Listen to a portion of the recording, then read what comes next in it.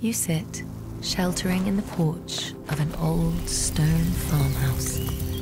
Golden light drenches the environment. The ancient trees appear illuminated. A pale glow pierces the mist. Time seems to slow, unbend, expand.